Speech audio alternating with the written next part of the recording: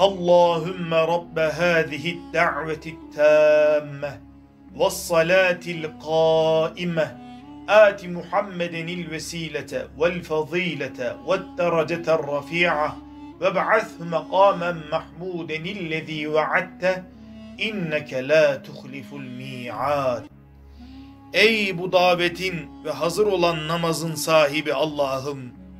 Hz. Muhammed sallallahu aleyhi ve selleme vesile ve fazileti ver. Onu kendisine vaat etmiş olduğun makamı Mahmud'a ulaştır.